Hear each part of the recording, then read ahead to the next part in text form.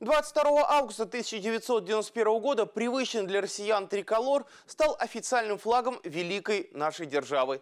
Белый, синий, красный – это не просто цвета, а символы моральных ценностей граждан нашего большого, единого и сильного государства. Подробнее о том, как праздник флага отметили в Твери, в сюжете нашего корреспондента Анастасии Бутек.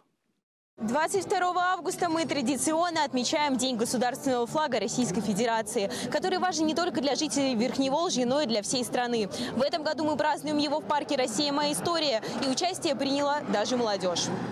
Белый, синий и красный – цвета, олицетворяющие мир, верность и мужество. Эти значения носит флаг Российской Федерации. Эти качества знают и воспитывают в себе истинные патриоты нашего Отечества. В значимый для всех россиян праздник в одном из новых культурных пространств областной столицы состоялось торжественное мероприятие. Здесь собрались многие тверичане от мала до велика, чтобы принять участие в торжественном поднятии флага. Эту почетную возможность предоставили новым героям современной России, ветеранам боевых действий в зоне специальной военной операции Дмитрию Каденцеву и Василию Евременко.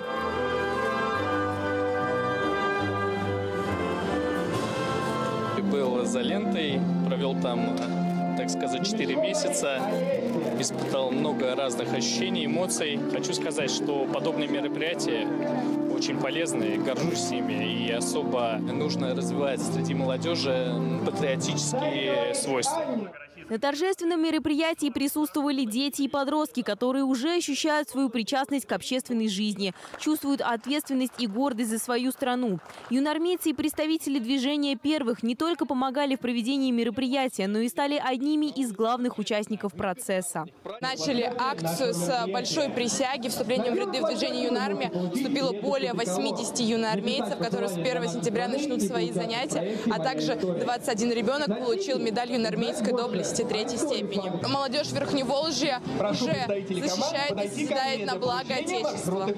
После основной церемонии и поздравлений юноармейцы и остальные участники праздника отправились рассматривать подготовленную символическую выставку и игры от организаторов мероприятия. Программа насыщенная. Изготовление окопных свечей, сборка автомата Калашникова, вязание сетей и, конечно, изучение настоящего военного обмунтирования наших солдат.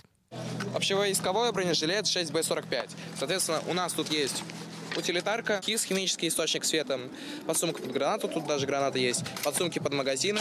Тут вмещается два магазина, но если убрать эту середину, то вместятся все три. Кульминацией мероприятия стало развертывание большого флага Российской Федерации. Это зрелище не оставило равнодушным никого из участников торжеств. Где солнце новое встает,